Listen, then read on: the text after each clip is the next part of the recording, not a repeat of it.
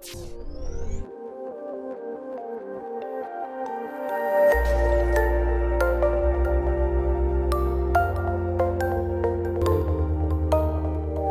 evening, ladies and gentlemen, and welcome to the third and final public forum for MAP in 2013. Uh, my name is Rowan Workman, I'm the MAP manager, and thanks for coming down on what's a pretty good spring afternoon. Uh, there's a bit of an aura around venture capital and deals and all of, those, all of those sorts of things, especially for students and those getting into the startup community. In the past, we've had events around MAP that look at um, entrepreneurs and investors and how to pitch and how a term sheet might work.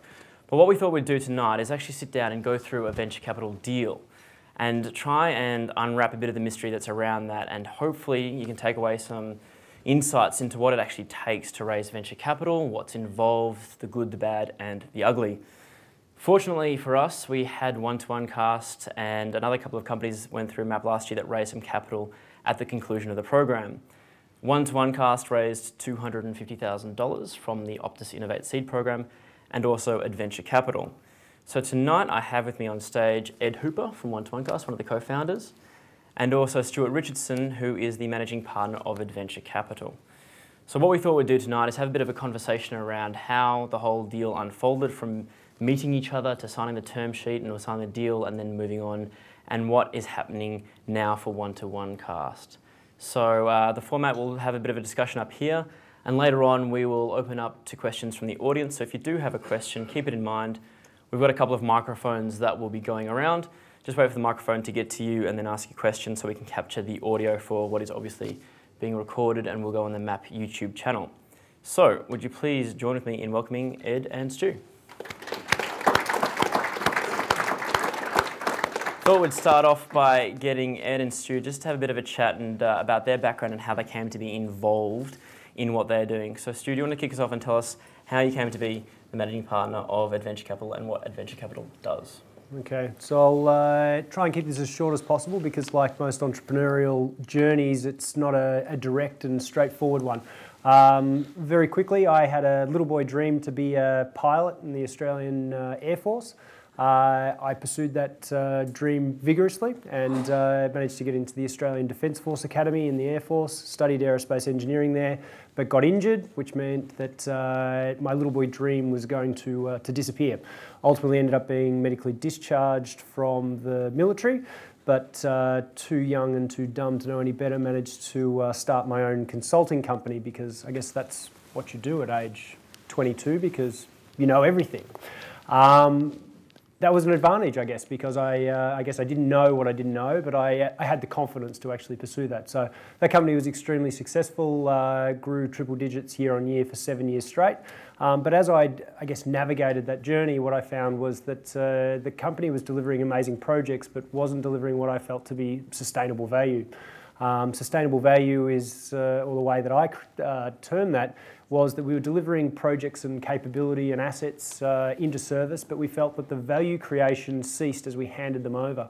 Um, and I guess the, the cure that I found or, or identified was that, uh, that I should take an, a, uh, a slice of the asset uh, ongoing. And, uh, and that's really where the, the, the, journey from consulting in high stakes and complex projects into venture capital really started. So I took a sabbatical in 2009. I studied at Stanford. I did the Stanford Executive Program. And then since returning from Stanford, uh, I've basically been working on the entrepreneurial ecosystem, uh, of which essentially things like Silicon Beach, uh, Startup Weekend across Australia, uh, the York Butter Factory, uh, Aurelius Digital, and, uh, and I guess as the centrepiece, Adventure Capital uh, sits. So we've got a partnership which spans both here in Australia but also across into the Silicon Valley.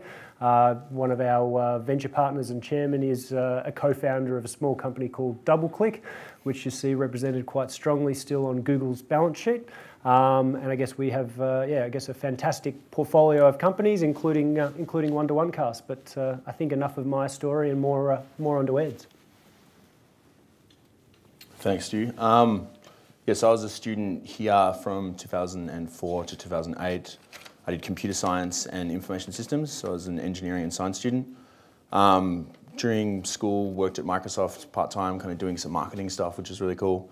And then with Long, my current co-founder now, um, we did our own startup in 2008, which is about sustainable farming. So we essentially put um, sensors, I guess, all over a farm. would bring in all the data and then put that on Google Maps, and you could kind of see what was happening on the farm. Uh, we found out that raising money for a really good idea during the GFC was not the best time to be doing it, but we uh, learned quite a bit, which is good. Um, after that, worked at ANZ Bank and did their iPhone app, which went pretty well. We got a million downloads and we're the top-rated financial app. Um, did uh, went to the US and did a program at Stanford like Stu, but uh, also at the business school. But I guess more, I guess it was a program for like people that hadn't done business but wanted to pick up things. It was kind of an accelerated program. Came back from that, did Groupon, and kind of did more of a strategy role. And then, yeah, decided, no, I need to do another startup. Uh, Long called me up and he had this idea and we just couldn't stop thinking about it. So we quit our jobs and then kind of went down this startup path. What was the idea? Personalized radio. So basically, we were trying to consume information whilst getting to work. We found that for decades, people have used the radio to discover new music, to find out news, to find out weather, to you know listen to radio personalities and get all these updates. And there's just all this great information. The problem is the radio station goes, all right, we're gonna we're gonna get all of Melbourne or all of Australia, we're going to come up with what's the best for everyone across that region. And we didn't want that. We wanted, you know, what was the best for us. So I'm a tech guy. I want the tech news. I want, I don't know, like house music or the top 40 or something, not say country or rock. And just, you know, I guess we've come up with this app where you pick the pieces you want and then it puts it all together and makes this radio station that's about you and it learns based off what's going on around you, what you're listening to. And uh, yeah, it's coming out in about a week. Where can you find it? Uh, omniapp.com, you can put your email and you'll get told when it's out. Fantastic. We've got to give it a plug since we asked yep. Ed to come along. Um, so you had the idea with Long. You had this brainstorming. So you, I remember you got a phone call from Long. You sat down. You put it together a one pager, didn't you? On what you thought the idea would, could could be, who the competitors were, how you might get it to market, what it might look like. What did you do after that? Yeah, so Long's called me, has had this idea. We get ideas all the time, but unfortunately all of them are really bad, and or other people have done them. So whenever I get an idea, I quickly kind of make a mini business plan. Like, is anyone else doing this? Who would the competitors be? Who are we displacing by kind of bringing this to market? What would we need to actually to actually build it? So kind of put this put this together, and this one, um, everything seemed to check out, and we we're pretty excited. So I started looking at, all right, who are the, who are the VC players uh, in Australia? You know, who can we go and, and speak to about money? And Long and I had met a few of them in 2008 from doing that other, I guess, startup. And so I typed in venture capital and, and Stuart came up and I saw, oh, okay, he's done a Stanford program, so have I. Cool, I can play that card. And so I just sent Stuart a message and I was, I was living in Sydney at the time, but I was going to be coming to Melbourne. So I said, oh, hey, um, you know, I'd love to have a chat with you and just find out what you're doing and just also, you know, find out how you found Stanford. And I'm really interested in startups. You know, I, have I've done one myself and would just love to have a chat. Because we found that, I guess, when you, when you speak to these guys, you can't just, it's best not to just show up and expect a check right away. We wanted to kind of just get some feedback and find out if some venture capitalists actually kind of thought this would be a good idea or not before we, you know, quit our jobs to do it. I guess that's uh, one of the things I'd like to touch on a bit more, and that a lot of startups may want to raise venture capital, not knowing full well what it could mean, but also how do you find them and how do you approach them? And you said you had a couple of connections already into venture capitalists from doing the, the startup with the Microsoft Imagine Cup. But for people in the room who may not have personal relationships with investors, you know, what you just found, Ed, with Stu on the internet, you, you send him an email. Yeah, and I mean, how if you weren't already a little bit connected, if you hadn't done the Stanford program, how would you frame that email? How would you get in touch with someone like Stu? Would you send them a blue email, um, email out of the blue? So in terms of finding them, I like we we get great success from find if we want to do something, finding people who've done it and done it well. So I'd be searching in the media, just seeing which startups in Australia over the last few years have have raised money. Mm-hmm. I guess also who are successful founders that have done well that would now have money. So people like say Paul Bassat, the guy that you know one of the guys that did Seek, mm-hmm. and in a few years hopefully like the Atlassian guys or the freelancer guys will you know be be following on and doing that kind of stuff. Later this year for uh, freelancer on yeah. list. Um, so right. yeah, fi- I guess find um, off those other companies who have raised, you can find. Okay, here, here, are other startups in Australia. They've been invested in by um, either US investors or they've been invest, they've, they've, they've gotten funding from investors who are willing to put into Australian companies. So that means that they'll, you know, be likely to do your company if you're in Australia, and then try and find you know what, what do they look for. There's usually good information on their website. Put their name into LinkedIn. Is there anyone you know who knows them? Is there um, is there anything you have in common? If not, try and find someone at one of their companies. So if you know if you want an intro to, to Stu and you want to impress in venture capital, finding a portfolio company that he you know kind of trusts in mm-hmm. and getting our advice on your idea. Like if we're going to forward you, then you've got our, our stamp of approval. That's going to add a lot of credibility. So I'd be targeting those other companies that have already got investment, making sure you're you know ready before you go and pitch. Okay. In that case, then Stu, you must get a lot of emails out of the blue. How do you decide to take his meeting? I, I think it's the uh, the connection sort of side of things, like that. Uh, I guess Ed was able to, I guess, you know, demonstrate a level of empathy. So we had connections in terms of Stanford, we had connections in terms of startups. His profile, when I essentially did a very quick check to sort of, you know, to do the background to say, where's he from, what's he done, who's he connected to, those types of things, you know, were, were definitely, I guess, signals. Um, what his email said was also very, very important in terms of the, the, the selection as, as to whether or not I wanted to, uh, to, I guess, take that next step. To give you some context, we probably receive, you know, uh, three to five deals a day in terms of people wanting money, uh, and I probably get five to ten sort of uh, LinkedIn requests a day as well. So, you know, if you've got basically just a straight through LinkedIn request which has no more information than the request to, to connect, chances are the ignore button is going to get worn out pretty quickly. Um, in terms of just coming back to a couple of points that, that Ed probably skipped over, um, the discipline that I think Ed and the team sort of, uh, I guess, applied to go through their idea and actually do a triage process and do the mini business plan, I think is a fantastic discipline uh, that every entrepreneur should think about. Uh, entrepreneurship is, uh, is a long journey. It's a marathon, it's not a 100 metre sprint. So if you want to line up on the 100 metre start line, chances are you're going to make the finish line, no problems. That's you know 20 seconds, 10 seconds, whatever it, it happens to be. But if you want to do a marathon, it's going to take practice. You're going to need to start small, start to actually introduce those disciplines, basic disciplines around essentially how do you, how do you assess the market? And you need to practice those skills. Um, so building up those, those frames in your own mind, those skills in your own uh, repertoire are critically important if you want to be able to actually, I guess, play an A game going forward. Um, if you want to be the best, you need to, to essentially emulate the best. So I think Ed made a good point there. Have a look around, do your research, understand the investor that you're approaching, uh, and try and hit, you know, find some key points. And the best way to actually get introductions to investors is not to actually ask directly for money, but actually get an introduction and, uh, and I guess get some level of uh, credibility associated with that introduction. So I guess as an example, if Ed thinks it's a good idea and he comes to me and says, "This is a fantastic idea. You should take this take this opportunity. You should meet this person. I think you could add, add value." That comes with it an enormous amount of, I guess, uh, support and and it'll get our attention. So I guess that's the that, that's that's that's the key pieces that I'd think about as you start to think through the need for venture capital. The other thing is is that venture capital comes with hooks, but I think we're going to, to explore that more. Oh, we will. Um, so, when was that first meeting and uh, what was discussed? Look, uh, so I guess the initial sort of connection was actually made through my business partner Darcy Naunton. So there was a there was a meeting between uh, Ed and Long, I believe, uh, and Darcy. And uh, I, must, I must admit, I didn't really know a huge amount about it. And uh, it was in approximately February uh, of last year. Feb last year. February of last year at the York Butter Factory. So uh, you know, we, it was an initial meeting whereby essentially they had a, uh, for me, a pitch deck, uh, and at that stage the, the business from my memory was called Loku. Um, and what I was really impressed uh, with was effectively that the um, the passion of the guys as to essentially the problem that they were looking to solve. So they weren't, they didn't come up with an amazing technology, and then they were looking for for essentially a home for that technology, um, or looking for a problem to solve. They actually had a problem to solve, and they were working to actually develop out the solution. And they had the the building blocks to to achieve that. So so I guess first impressions really do count. Um, and I guess the, the best way to essentially come at things is to, to, to start with a problem and work out the best way to, to solve it um, as, a, as, a, as a framework.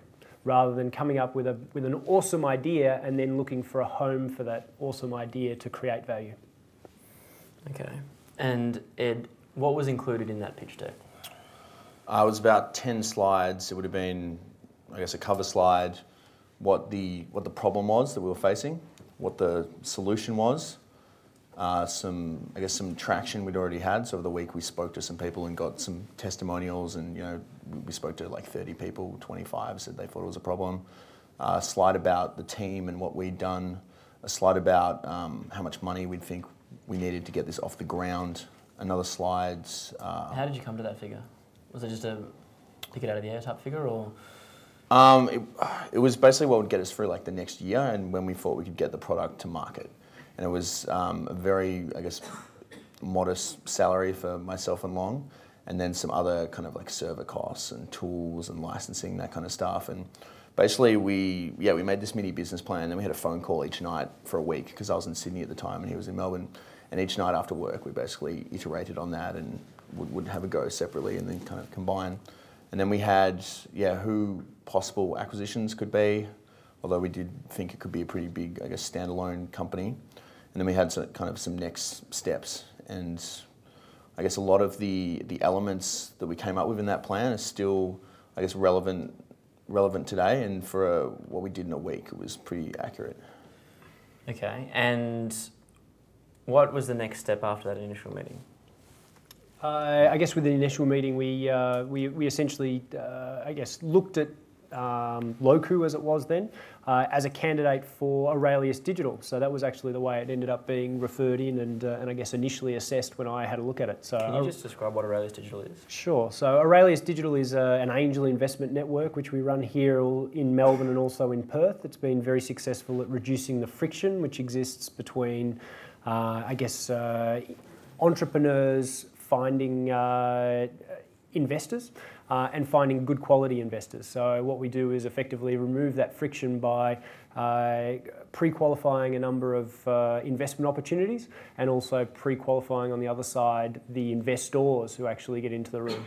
Um, angel investment uh, in probably most markets, but certainly observed here in Australia, has become somewhat of a badge of honour, and uh, and sometimes that doesn't yield to the most positive of, uh, of outcomes. So, hence why Aurelius Digital was was created to remove that friction. So it's a it's a dinner uh, which is run quarterly, and we generally have about 50 people in attendance. But uh, but Loku was actually uh, assessed as interesting, but uh, but not ready because uh, I guess the, the candidate companies that uh, that do get through generally have built their MVP and have have initial signs of traction. Um, so in that case, uh, I guess there, there was there was a no, but equally it was a uh, it was something that, that we were impressed by because we were, between Darcy and I we were both impressed with the team.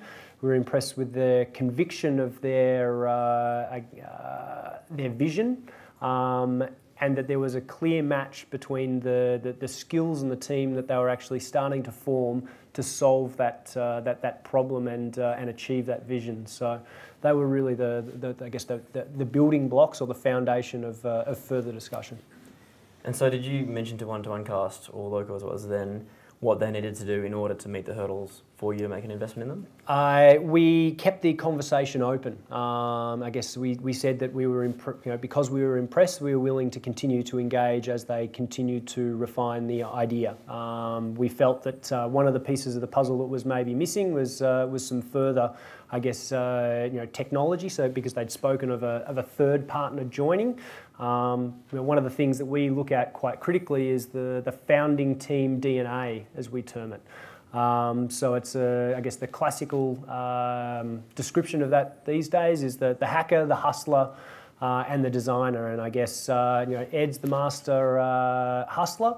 Uh, Andrew, who I don't think is with us tonight, is uh, is the back end hacker, and he's uh, he's very impressive at what he does.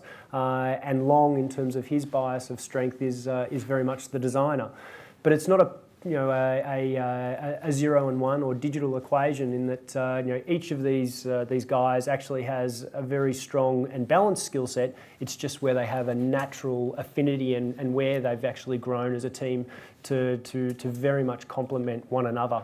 And that's where what we really, I guess, were, were, were very attracted to. And, uh, and it's very much a determining factor as to our investment decision beyond the, the more classical uh, assessments that we can make with uh, you know, uh, MBA style analyses, um, market analyses, etc. Okay, and if you if you take a step back and I guess look from a high level, there's the work that goes into doing um, courting each other, finding out if you want to be a company or if One to One Cast is a company in which you want to invest, and the same for One to One Cast to find out if they want to be a company that you invest in. From memory, the deal was done in about October last year.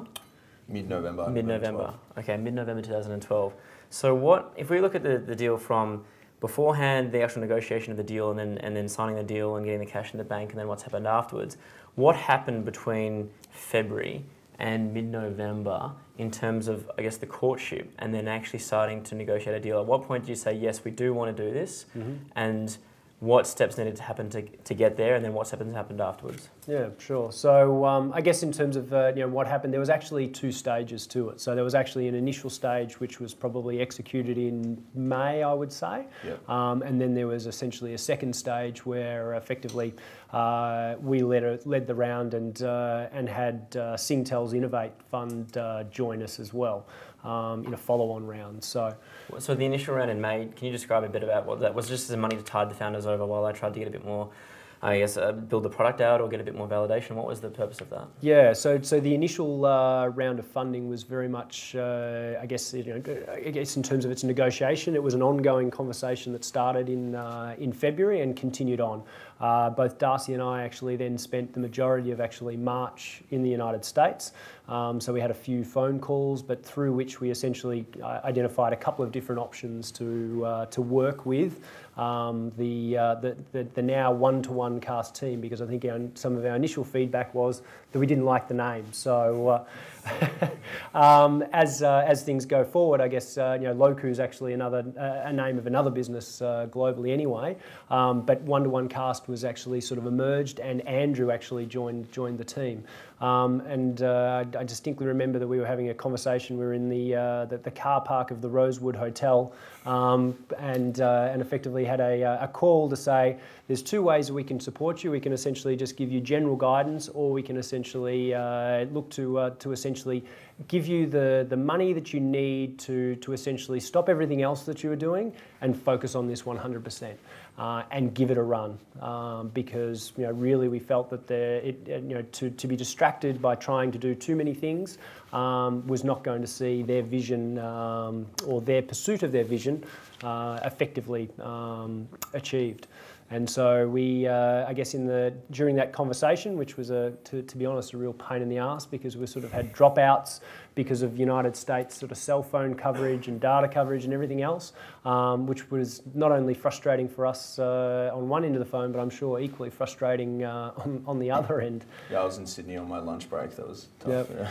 Yep. So uh, anyway, um, won't go into too much more of that detail, but uh, but effectively we, we nutted out that we wanted to uh, to actually uh, give uh, give the guys the ability to, to really focus on this and uh, and give uh, I guess you know particularly uh, you know Ed the ability to uh, to to take some time.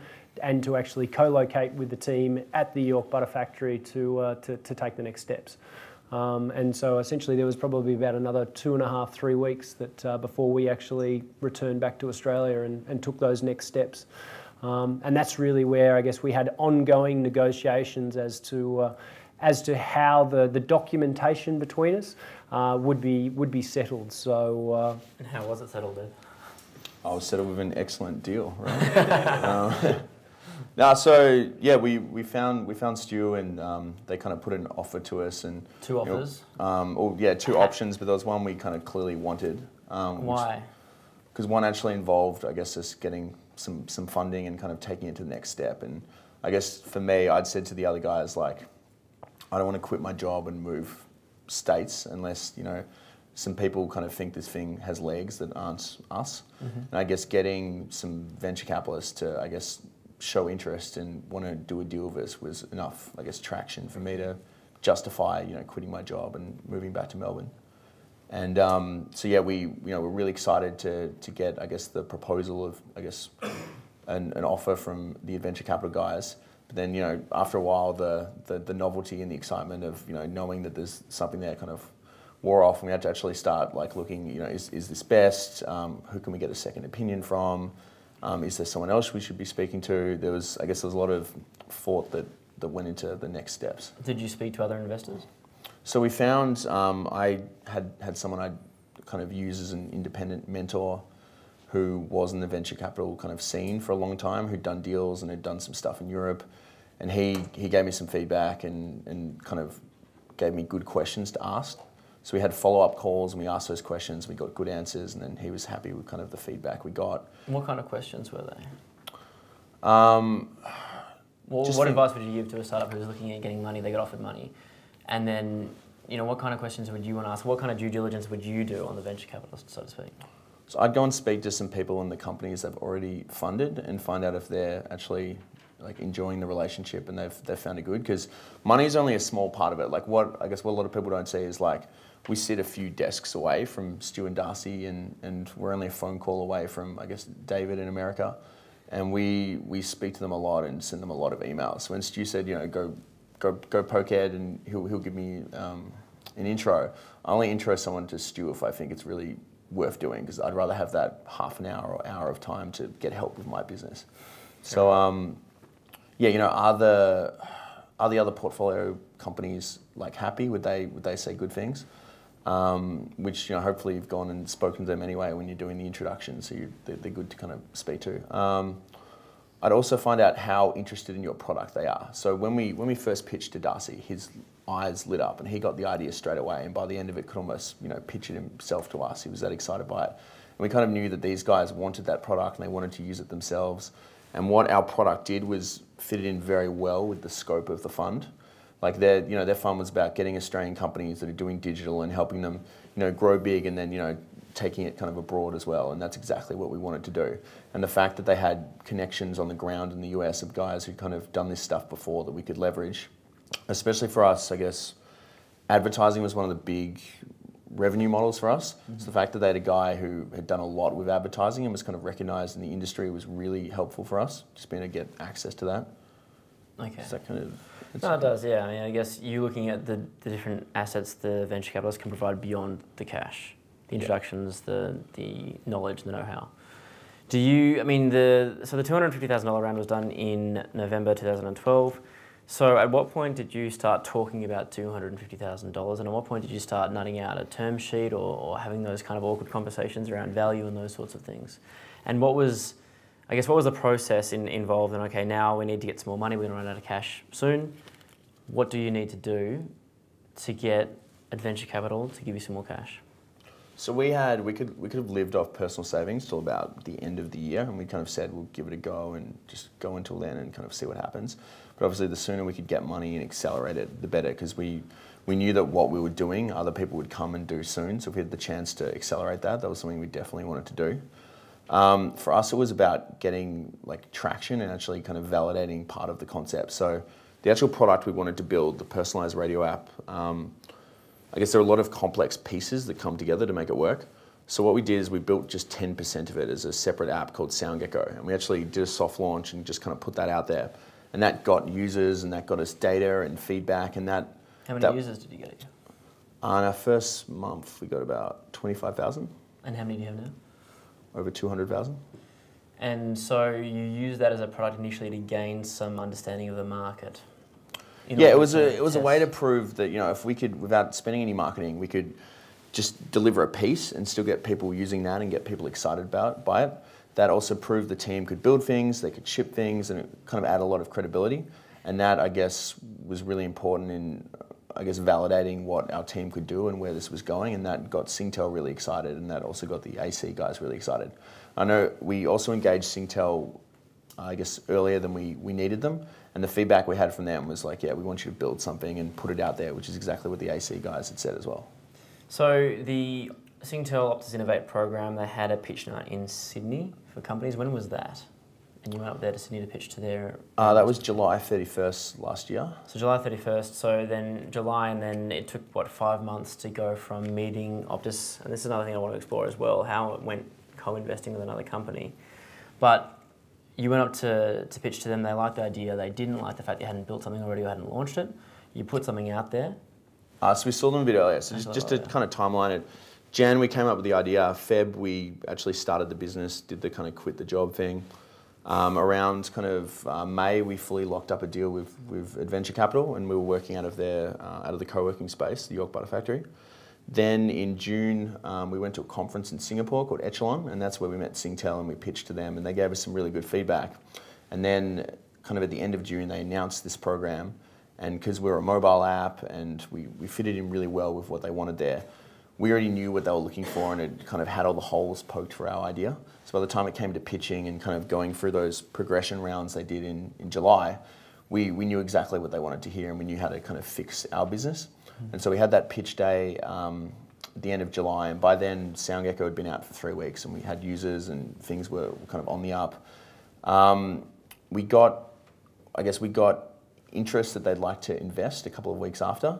And then it just getting all the final parts of the deal, yeah, is what took a couple of months because we needed to work out, you know, who else do we want in on this deal, exactly how much money do we need.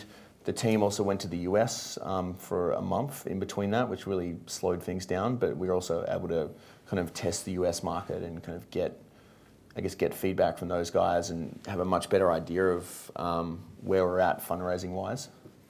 And so after you came back from the US, that was what in July, August, Uh, the US trip was September. September. Okay. And so you came back from the US trip in September.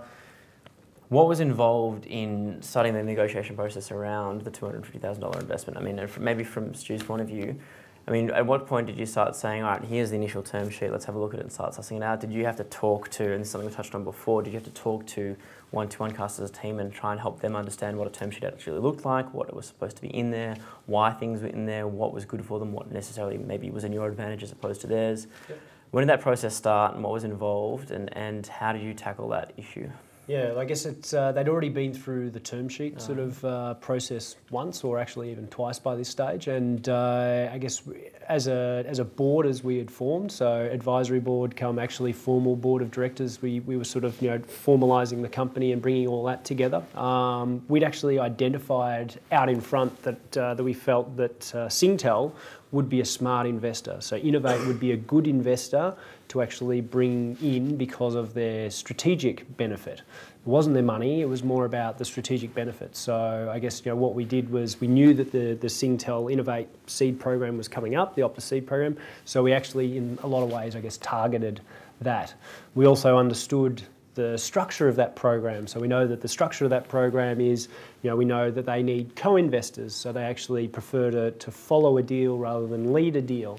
Um, so I guess it's sort of, you know, it's, uh, you know, when you can actually gain insights as to exactly the, the investment style, uh, particularly if there are programs, say, like the, the, the Optus Seed Innov8 uh, or the Optus Seed program, um, educating yourself as to essentially the, the structure and the opportunity and the, the flexibility and, and how you can, I guess, maximise the benefit from it um, is really, really important. Uh, in that case, it was also, we knew that they were actually issuing uh, convertible notes as well. So we actually thought that that was an even better opportunity um, to, to actually test the uh, strategic value of the relationship.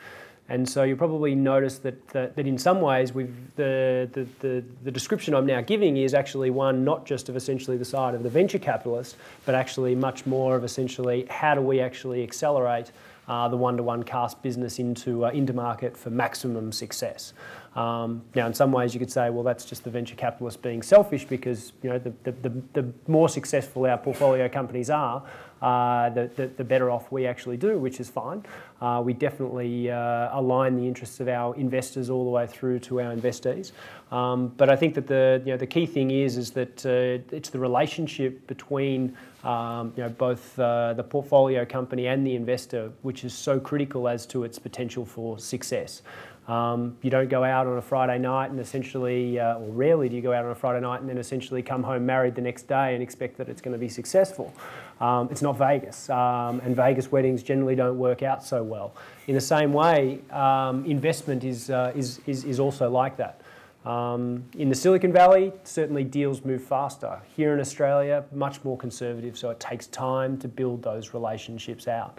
Um, they're hard won, uh, but those hard won relationships are the ones that are going to stick by you when stuff gets hard. And be sure, as an entrepreneur, stuff is going to get hard, it's going to get complex, things are not going to go your way. Um, what was the worst part about negotiating the deal for you?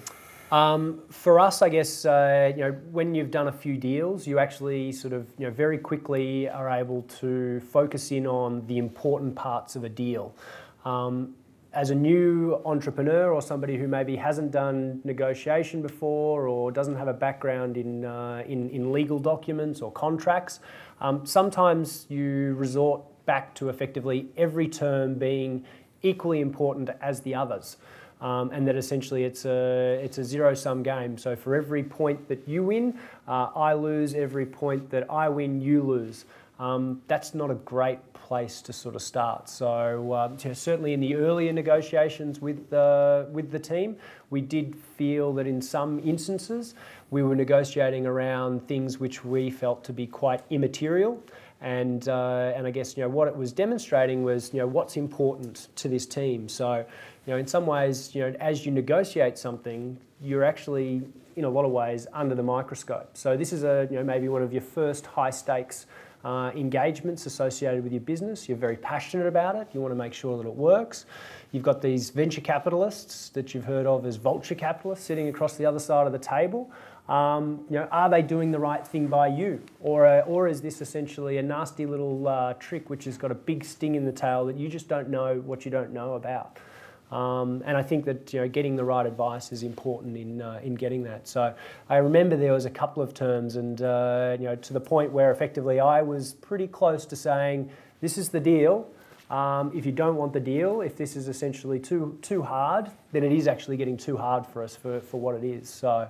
Um, you know, we, I, I, must admit, I did get frustrated in, uh, in the early negotiations with this, with this deal. And Ed, for you, uh, coming back oh, that. no, I, I, guess from our uh, our perspective, right, we'd, we'd we'd um, we'd quit our jobs, we'd gone all in on this, and we were so excited to be you know having our own company, and then this first deal, getting it right, was really important. And I guess we'd we'd found a few different people who were giving us advice, and it got hard. All the advice was conflicting. Um, you know, the things were time sensitive. We could tell um, after a while that yeah, the guys they were spending a lot of time, I guess educating us on certain things and pointing us in the right direction so we could make informed decisions, which most places won't take the time to do. And um, yeah, eventually we are able to come to something where you know everyone everyone was happy. But I guess it's also also really hard when you know looking at the money aside, all the all the strategic fit and all the help you're going to get, you can't. It, it's hard to get a feel of how much of that you'll actually get down down the road. Like I guess in the US, I've, I've read of you know companies where it hasn't started going that well, so the you know the, the VCs will focus on other parts of the portfolio, or you know, can they do what what they say? And it's really really hard to to measure. And so we, I guess we we focused on some of the non, I guess, some of the things that were more measurable, and that we had a greater, I guess, idea of. Um, whereas the I guess from those guys, they, they saw the, the money is not as important about getting the good foundation, which would lead to all the other things coming.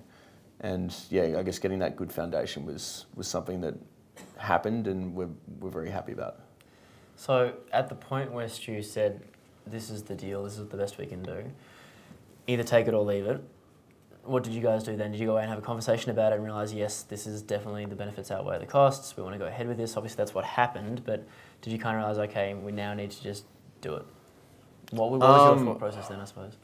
Oh, look, we always wanted to do the, the deal, but um, it just, just took a took a while. I guess we'd we'd have a we'd have a meeting and discuss. Whenever we had a meeting with those guys, we'd go go afterwards and kind of go somewhere else and just say what our, our gut feel was after the meeting, and then we'd all hear each other's points and then take some time to reflect. potentially speak to I guess some of our advisors and just, just have a bit of a think. And then we'd come back and say, all right, this is this is where we're at. And um, I guess yeah, we got to a point where we were really happy and got the deal done. got the deal done. How long from signing the papers until the cash was in the bank? Uh, ooh, I think it was long, a week or That's pretty quick. yeah. And so what happens? Well, I mean, I guess there's a, probably a fair bit of relief after the deal has been done. You can walk away and start focusing on actually building a business as opposed to getting some cash to build a business. What was the, I guess, what is the, I guess, the, the key benefits that, that a venture capital bring beyond the cash that's helping you grow one-to-one cast? Um, oh, it, it ranges just all the way as really small things like just having a, a fresh set of eyes to look at, to all the way to you know coming with us on a trip where we're looking to raise funds or looking to get some partnerships. Um, I've spent time with, with Darcy, the, one of the other partners in, in Singapore and in London. I've spent a lot of time with Stu in Sydney and in the US, and they, they just help us in so many ways. Intros to people, um, preparation for meetings, you know, give, giving us feedback into, you know, here's how this fits in strategically, here's how we think you should play it. Um, just a sounding board on, on, I guess, what we're trying to solve at that time, introduce, introducing us to other companies in their portfolio who can help us. Um, you know, all, th- there's lots. Okay. And Stu, have you got anything from one-to-one casts aside from having another company in the portfolio and aside from having giving them the cash? What other benefits have you received from that relationship? Um, well, I think that uh, you know, I guess it's having a successful portfolio company is uh, is, is a great benefit to a uh, to a venture fund. Obviously, to have a showcase is uh, is, is really important. Um, you know, you want to have a positive relationship with those that uh, that I guess that you're working with, because that in and of itself is actually rewarding. So you know. There's many reasons why people do things. Like some people do things purely for the money. Um, to be honest, essentially, the money ultimately ends up being a byproduct um, of effectively, you know, the, I guess the reward that both Darcy and I get from working with, with awesome entrepreneurs um, who are taking the risks, you know, putting it all on the line to actually pursue their vision and to, to do it in a lot of ways without, uh, you know, uh, without care almost for, for the risks in some ways. Um, so no, it's, it, it's, it's actually quite rewarding to, uh, to, to watch and observe and, and actually, I guess, in some ways be part of the, the, the progress um, of, the, uh, of our portfolio company. But uh, I guess, you know, the, the earliest investment that we've ever made is, is certainly the, the, the one-to-one cast investment. So we sort of went outside of our comfort zone in making, uh, in making this deal. Okay. And so now that the deal is, that was done in obviously uh, November last year, how closely do you work together now with the company and how involved are you? You obviously got an advisory board that you sit on. What, uh, how involved are you in terms of the management decisions and the governance of the company? I mean, do you ever have uh, issues with you know one person deciding one thing is best for the company and having heated, heated discussions around that sort of stuff? Or is it at the stage now where you, you've, everyone who's at the advisory board, everyone who's involved in, I guess, the management of that company has all effectively got the same vision in mind and understanding what needs to be done in order to get there? Yeah, I think one of the, the, the, the one of the uh, best things about the, the relationship is that there is a united uh, vision that is shared between all parties. Um, I think that we've also managed to almost, just as much as we've got a, um, uh, a very solid founding team, um, that, that both Darcy and I, in terms of our uh, support to the team, each bring something which is different and unique. So I sit on the board of, uh, of One to One Cast, and I guess focus more on the governance and uh, and I guess commercial or uh, strategic aspects, um, and provide I guess you know uh, a sounding board for those those matters.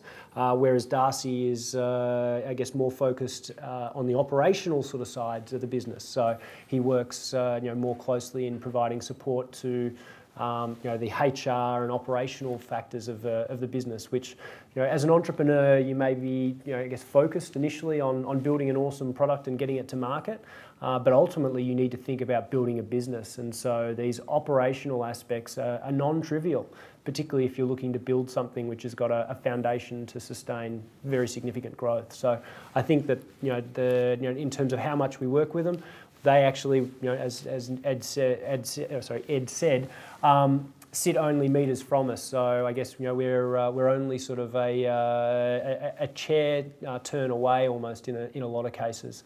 Um, but the, the yeah, once again, I think that uh, it's a quite good symbiotic relationship that uh, they're able to draw value from um, without creating dependency as a, as a sort of a key point. Because as an entrepreneur, you didn't do it to essentially find yourself another boss. You did it to essentially create, in a lot of ways, your own freedom and, uh, and to pursue your own vision, not somebody, somebody else's. Is there anything that you would have done differently?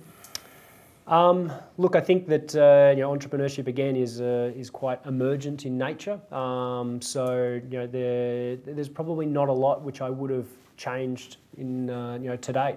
Um, you know, I guess you know looking back with the benefit of 100% hindsight, you know, would we have sort of you know given slightly different guidance, knowing what we know now in terms of you know direction, that type of thing?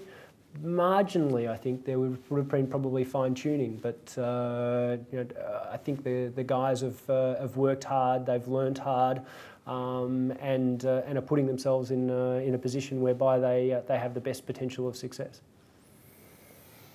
Ed, we're about to ask the, the audience some questions. Is there anything else that you would like to bring up in what it's been like to start a company, obtain some financial support from a venture capitalist? Um, you've been a bit of a rollercoaster ride for the last year and a half. Any uh, any other things that you would like to bring up about how this deal came about, where the company's at now?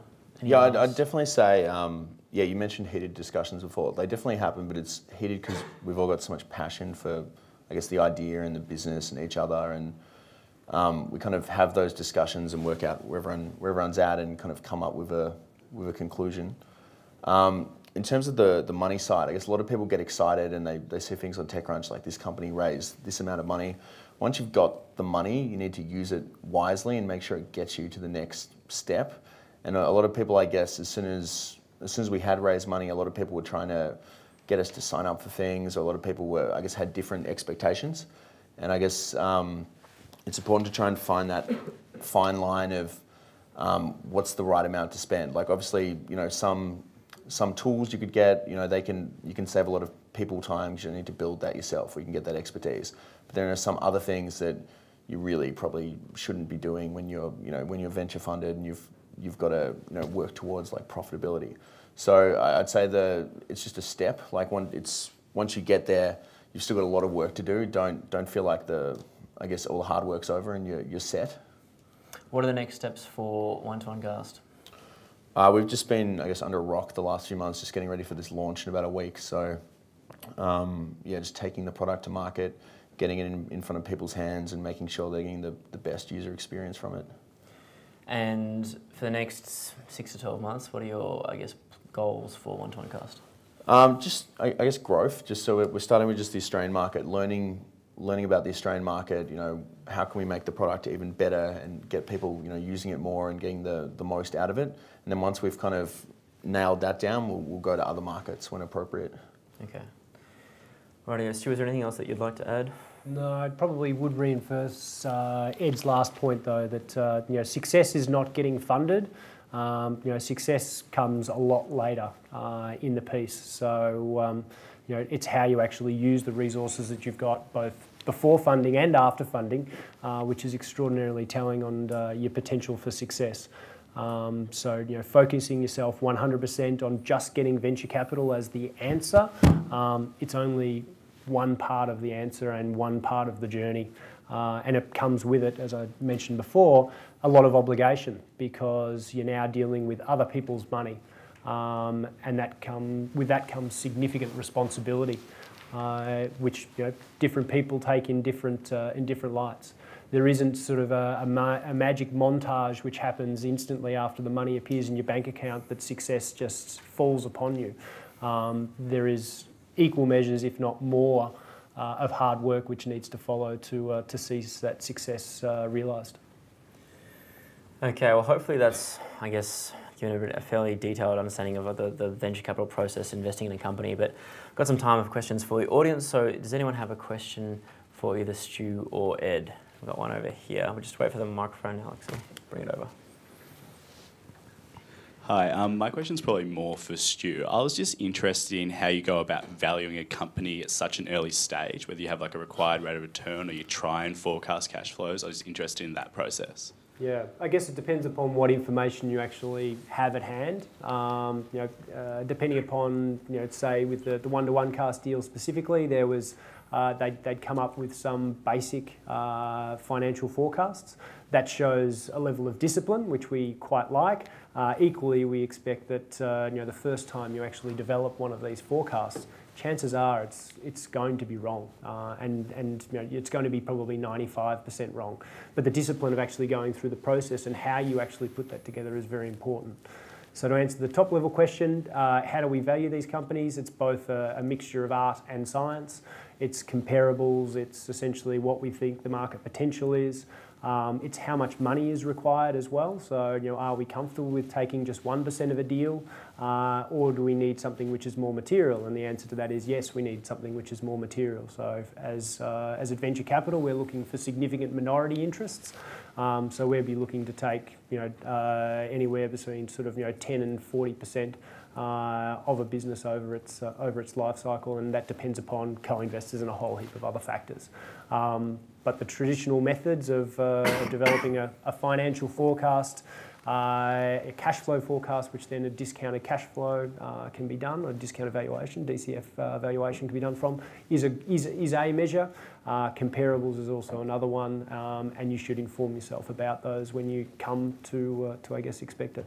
Um, another key point around valuations here in Australia, you, you should expect that they are a lot lower than they are in the Silicon Valley, and that's a direct representation of the amount of venture capital which is here uh, in Australia. It's, uh, it's about 10% per capita of what, uh, what exists in the United States, um, which then magnifies because of the, the Silicon Valley effect uh, by probably another 10%, if not more. We've got one here. Um, yeah, it's also for Stu. I was sort of going to ask that last question, but in that same context, how do you sort of gauge how much you want to take of the business at different stages and how would you sort of develop your exit strategy in the longer term? Like when would would you do that early on, or would you? Yeah, yeah. So in terms of uh, you know thinking through uh, exits, uh, you know as a as a fund manager, you're always looking for you know ultimately where a liquidity event will occur. In the venture game, that's not as easy as going and selling some shares on a on a public market. Um, until recently, the IPO window was pretty much firmly closed. Um, so the, the likelihood of a business actually IPOing was very low. So that left trade sales really as the mechanism by which that exits truly occurred. Um, or that you might be able to find a secondaries market where somebody may actually buy your investment out at a, at a higher rate. Um, you know, for us, we, we talk about the fact that we, we I guess, uh, assess a business as to its, uh, I guess, terminal value and terminal exit sort of mechanism. Um, so we're already thinking about the market in which that, uh, that you're looking to, to disrupt and to attack, and where the likely exits would, uh, would occur in terms of uh, trade sales predominantly. Um, but equally, you wouldn't, uh, you know, if you get a business which is going to run hard, then, uh, then, then maybe an IPO is an opportunity. Uh, that said, for adventure capital in terms of our purposes, we're an early stage investor. We're investing at Series C to Series A. Um, you know, generally you're going to get a, a, series B, C, D, and maybe even an E round, so many rounds of funding prior to essentially a, uh, an IPO happening. In which case, you know, we're, we're probably only going to end up with, uh, with maybe you know, less than 10% of the business. The idea being that obviously you're looking for a much bigger slice of the pie. Um, but I guess you know, in every round that we, we, we make, both essentially initial and follow on, we're thinking about you know, is this good money uh, going into the business? Is it likely to essentially deliver a rate of return? And in terms of that rate of return, if we can't see 10x on that money coming back out again, chances are we're, we're going to be thinking twice. So I had a question here. Um, so, what are the terms of the deal? And then for Stu, what are the terms that made you nearly walk away? And then for Ed, why did you push so hard for them? Uh, so it's all about money and control. So how much how much money are you, are you getting, like cash, you can spend, and then um, what valuation is that at? So like how much are you giving away?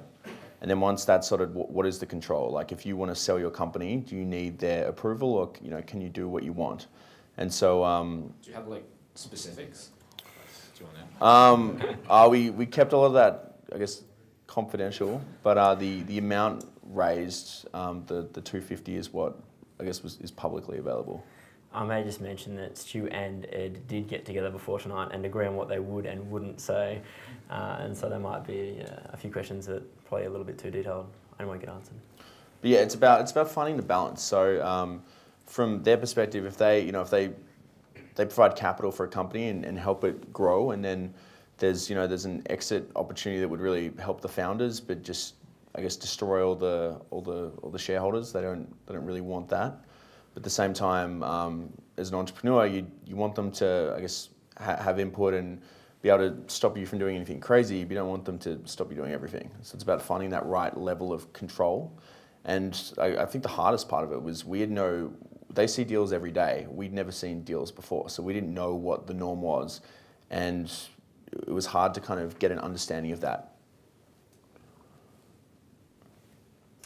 Um, in terms of yeah, I guess you know why do I why did I almost walk away? I guess we we, we, we kept on circulating around the same point, which uh, which actually was in regards to the ability of the founders to have um, external employment from memory. Um, so that was that was a, I think one of the key key sort of you know points where I think you know from the founders' point of view, they wanted to be able to sustain their savings, so be able to have a job outside of working on the, the startup. And we were uh, saying that the sole purpose of this funding initially was to, to absolutely 100% focus on getting the MVP built. Um, and we really did uh, circulate around that sort of issue a, a, few times. And I think each of the individuals within the founding team had uh, you know, uh, a slightly different sort of you know, perspective and probably individually had different circumstances which drove their requirements. So you know, they may have been giving away, you know, sort of you know, uh, different different things. They may have been yeah, accustomed to different lifestyles. So it's it's always going to be independent and individual. But that was that was certainly the you know one of the key points. So to to circulate back around on that. Um, if an investor's investing in you to actually build a business, chances are that's all they want you to do. Um, they don't want you getting distracted. They want you to be 100% focused, 110% focused on, on seeing that business to be successful. Hi, um, Ed. Um, when you receive a fund, like what do you guys like? Look, how do you guys allocate the fund? Like maybe ten percent marketing and ninety percent for the product, or outsourcing? Like, so our um, pretty much all of our money to date has been spent on just just people. So um, we've got a very, I guess, we had a very strong tech team in Foundation. Like all three of our um, founders were technical, and we just saw it as here's where we wanted to be. Um, we know the market's going to go there. The sooner we can do it, the better. So just, uh, I guess, extra developers or contractors kind of helped us out, giving ourselves a modest salary um, some software licensing, some some online SaaS tools that helped us out, but pretty much all of it's been um, people. With our first product, SoundGecko, we didn't do any marketing. With our launch coming up, we're doing doing a bit, but it's yeah for us it's, it's been about um, mainly towards people. But we came up with a with a budget um, when we kind of proposed ra- raising money, and the um, the AC guys and the Singtel guys kind of both went through that and gave us their opinion and you know, it has changed over time, but um, th- that's where most of our money goes. Yeah, but so do you reckon like making great products, like it will do the marketing automatically? Like you don't really like as long as the product is great, you don't need marketing. Uh, even if you have a great product, if you're not getting it in front of people, it's it's going to be a real problem. Um, I guess what the VCs are scared of is a lot of people, you know, I guess get agencies helping them or, you know, spend money on billboards or all these ads and, um, there's, there's, I guess it's about doing marketing in really smart ways and also testing that the product's ready before you put it out there. So if you put something out there and you spend all this money marketing and then no one comes back, that's really bad. You want to test that first and, and make sure that those people are actually going to come back and they're interested before you put, I guess, marketing dollars behind that. And there's some, some really good posts online about things like growth hacking, about how we've, you know, not not doing that much, you can get a lot of users and do some really clever things. And that's, that's really big in Silicon Valley and it's starting to get quite big here. All right, um, sorry, second questions. Um, last semester I visited my office, like visited you guys, and I realize you guys have like the strongest like technical team like among the like the other like map winners. Like how you guys actually achieve that? Like all, all of you guys are so strong in technical and then working on it dedicatedly. Uh, I think it's horses for courses. Like for our idea, we needed the very strong tech team. But if you look at one of the other teams last year, um, Braden's team, you know, he's he's an engineer, he's very technical, and he's got the right skill set for the project he's doing. The guys doing Venue Mob, um, you know, made a company around group buying and I guess built up, you know, a sales expertise, marketing expertise, and knew how to run a business involving that really well and got acquired.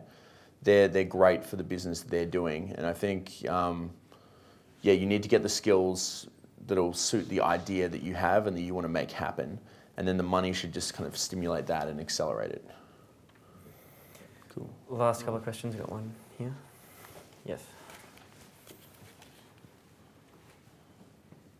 Um, was your idea ever hampered by a previously registered patent, and how'd you go about, you know, bypassing that if it was? Um, IP is a really interesting one. So when we when we first started, like we we couldn't really we didn't have the resources to tell. We were just trying to we didn't want to worry about that until we actually worked out if people actually were that interested. Um, we got all our name, we got all our brands, all our names, I guess, trademarked, and there are certain parts of what we're doing that is patentable that we're investigating. But the thing about patents is if you've if you've got them, it, it makes sense for some businesses. Some businesses it doesn't. If we um, if we got patents, we'd need to have the money to defend them, and at this stage we we don't. Um, I guess the other thing is um, we couldn't find anyone who was doing anything like we were doing. So um, yeah, we. I don't know, Yeah, no, I guess we, we did our uh, assessment based upon, uh, I guess, a number of different things, and cer- certainly part of it was because with even the, the first application, um, you know, dealing with content uh, was somewhat of a, of a minefield. So it was certainly one of the risks that we did explore in making our investment decision. Um, and I guess we put uh, put the founders to, to task as to essentially responding to how they were going to develop that, and uh, and their answers were certainly something that that uh, were very informative as to how do you actually assess a problem as, a, as an entrepreneur? How do you go about sought of you know determining whether you know that uh, that you know you were going to, to, to find yourself in a patent issue? Um, how are you dealing with IP? How you uh, sort advice? Those types of things. Yeah, so with that, I'd say our technology was getting a few different things already out there and bringing it together.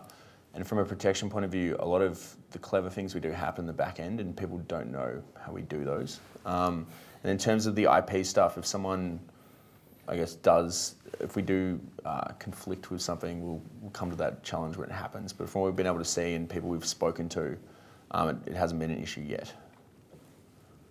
And probably one last question. Z, do you want to? Oh, you want a few more? Uh, we haven't had many guys here or here. You're going to share Oh. Ed, you, you run it. Okay. They get this drinks out. Um, right. touching on Stu's point about different uh, valuations between here and Silicon Valley, and you were obviously there seeking. Well, I don't know if you were actually seeking funding. So how did you, you know, go there, talk to people there, um, and then was there like a bit of a competition thing where you were thinking, do I raise from home or do I raise from there, or was it even an option? How did you think about that? You're talking about our recent trip or very early on, like uh, September last year after? Both. Um, so, yeah, we just, so, so we went last year in September after we'd kind of already done one deal with AC and we're looking to do another with AC and Singtel. Um, we met investors there and kind of started building some relationships. It's really hard to meet someone and then get them to give you a check right away. It's, it's better if they have more data points. And the feedback we got was we, we needed to do more to, to raise the type of round we wanted over there. And those to get the full, I guess, benefit out of a lot of those investors, we would have needed to move to the US or be at a later stage where we will say at a growth stage where a lot of their expertise we could really utilize and accelerate. So that gave us a great foundation and made us realize that for us, the best thing to do was to stay in Australia, um, you know, get, get some capital from local investors who had good strategic value, and then you know get to the next get to the next milestone, which was launching our app, which is you know, coming up very soon. I'm conscious of time, but Ed wants to answer a few more questions. We do have uh, beers and nibbles waiting out the front, but maybe we'll take a few more if you're keen to answer some more. So Dan, and then maybe one down the front here as well. Thanks.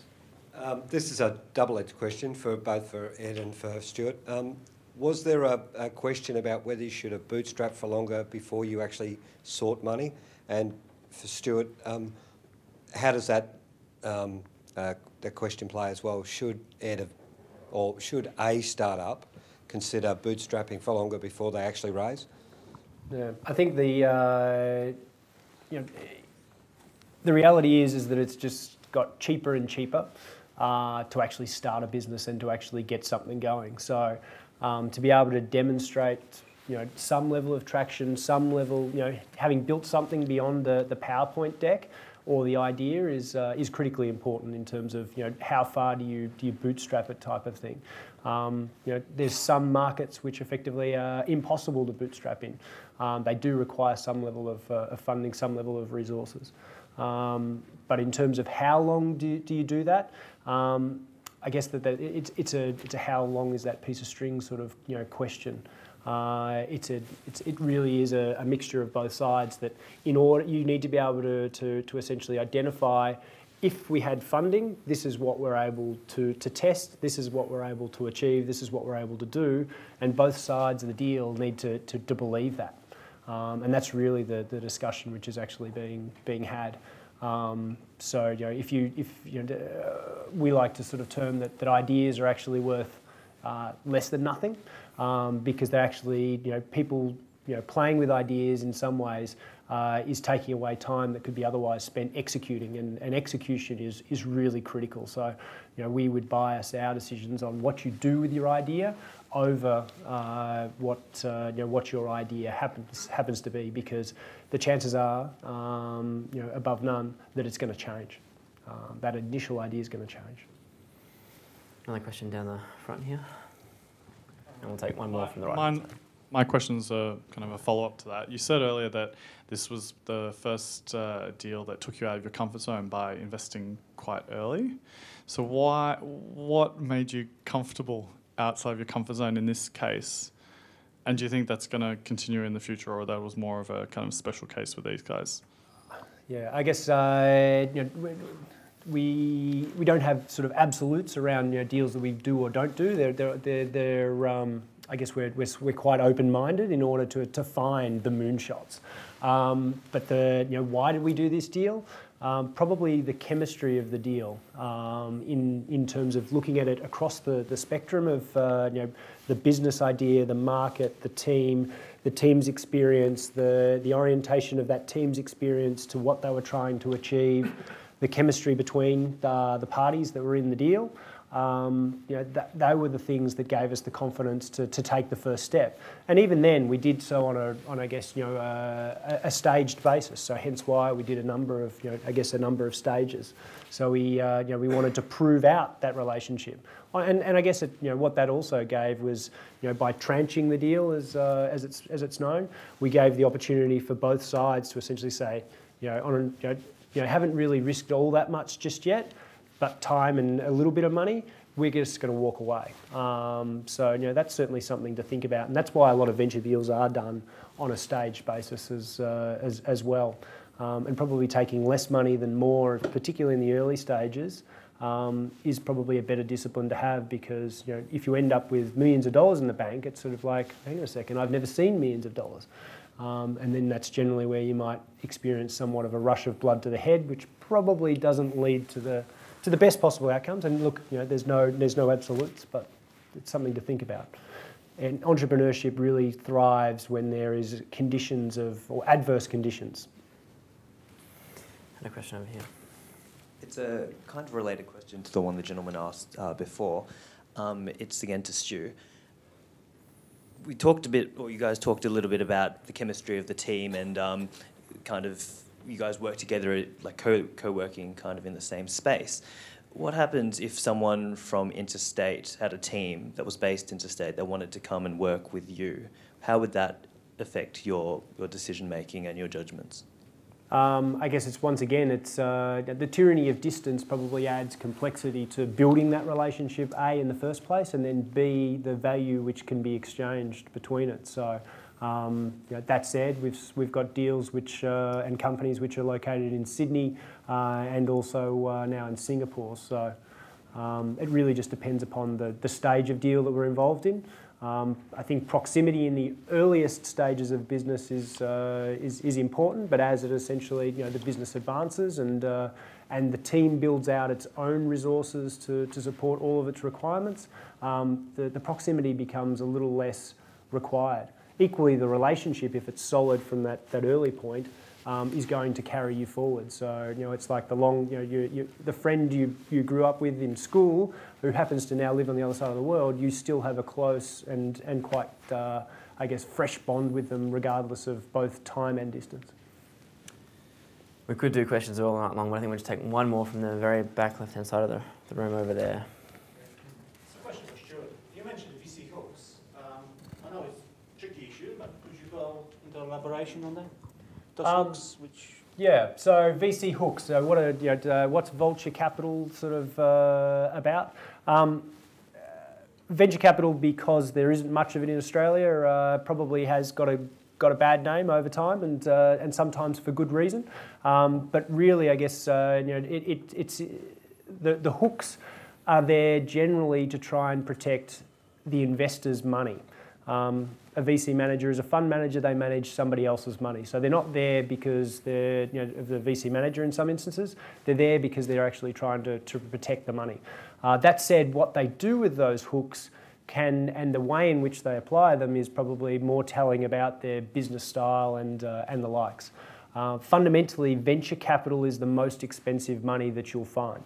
Um, you know, you're better off you know, trying to find money in other places uh, than venture because essentially it's, it's expensive. They take, you know, you're looking to take material parts of your business and you're also, uh, I guess, accepting a, a long-term relationship. We haven't really touched on it, but I guess, you know, uh, we've been working with uh, one-to-one cast now for about 18 months. Um, the general cycle time of a, of a deal is anywhere between sort of, you know, the, the, the shortest ones are probably three years. The longest ones could be 10 or more years. So, you know, this is a long-term play. Um, and as a result, I guess you know an investor, you know, in year one is trying to forecast and protect themselves from investors joining in later rounds, um, and equally, essentially, protect the underlying investment that they're, that they're making. So things, the you know, to be very specific about it, are things like preferential uh, shares and the rights associated with those preferential shares. And I'm sure you've gone through term sheets to, to an extent with this group. And, and Venture Deals is probably a very, very good book um, that I'd recommend that you, you look at. Um, there's also drag along, tag along rights, veto rights. So veto rights being that uh, the investor actually, uh, despite what may have been decided, can actually change the mind or change the direction of, uh, of the business. Um, and there's you know, any number of other sort of you know, little tricks and, uh, and tips that, uh, that could occur um, which could see the business in a, in a, bad, uh, in a bad way. So um, you know, definitely inform yourself. There's, there's, there's enormous resources now available online. Um, people like Brad Feld and Fred Wilson and, uh, and the likes are, are, definitely good places to go to get crowdsourced wisdom um, and to get uh, a very quick and rapid schooling as to, to what's, what's a good deal. Um, and, uh, and essentially, if it doesn't smell right, if it doesn't feel right, chances are it's not going to get any better with time, but probably going to, to get worse. So, also as an entrepreneur, definitely trust your, uh, your intuition. Um, you know, because if it's a bad deal to start with, it's not going to get better. Right, we better wrap it up then and there. Thank you very much, Stu and Ed. We've got a couple of bottles of wine for you. Maxine, if you could grab them and bring them out as a token of our appreciation. So please join me in thanking Stu and Ed.